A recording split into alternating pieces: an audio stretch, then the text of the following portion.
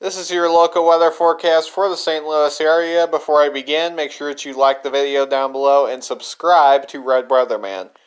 And the rain is moving out of the St. Louis area.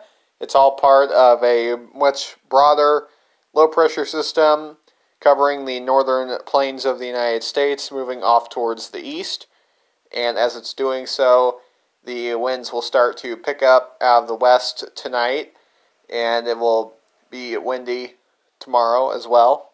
Tonight, we also have the possibility of a stray shower or even a severe thunderstorm could fire up as that barometric pressure continues to drop down to even where some tropical storms are and about a 60% chance of rain, I would give it. We clear out overnight, and tomorrow we have mostly sunny skies and windy conditions. Dry weather to finish out the week with warmer temperatures. That is your local weather forecast for the St. Louis area. Be sure to like the video down below and subscribe to the channel on your way out.